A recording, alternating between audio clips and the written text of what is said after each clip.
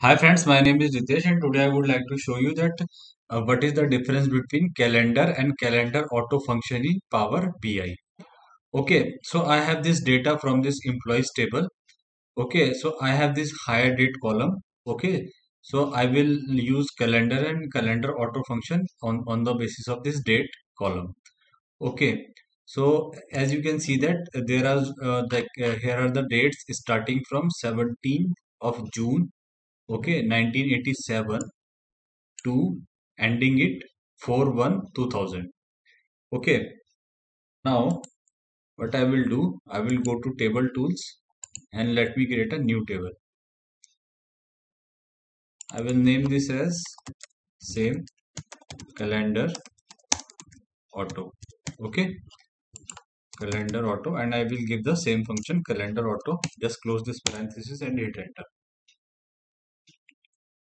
so it is giving me the dates from that starting of the year which is 1 january 1987 okay 1 january 1987 and ending it in 31 12 2000 so it is giving me the whole dates of this of the of, of the uh, of uh, of starting of that uh, particular year to the ending of that particular year.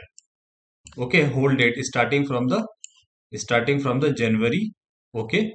And ending to the like december of that particular year which we have in uh, employees table okay uh, in that hire date column.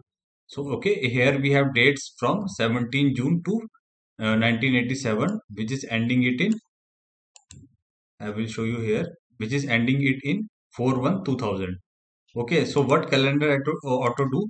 It will provide you the dates of the whole year of the whole year from starting okay to the ending. To the ending which is uh, 31 12 2000 okay now what you want you want the distinct uh, like distinct date. Distinct date of that particular period. Okay so what you can do you can create a new table again. Okay and uh, you can name it as suppose it will be you can name it as calendar normal calendar function okay? So it will be calendar okay? Calendar okay? It is asking me the date. So i will provide my date range also. So you can provide the date range okay? So here uh, that uh, in that uh, hire date okay? The date was from 1987 comma month was i think we need to check again okay i will go to my employees table. I will go to my employees table and I will check the dates is from 17 June 1987 okay. 17 June 1987 okay.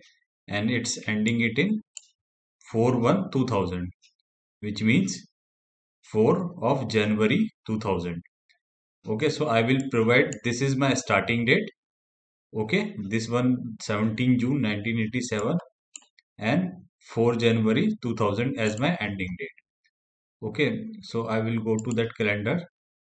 Okay and here this one.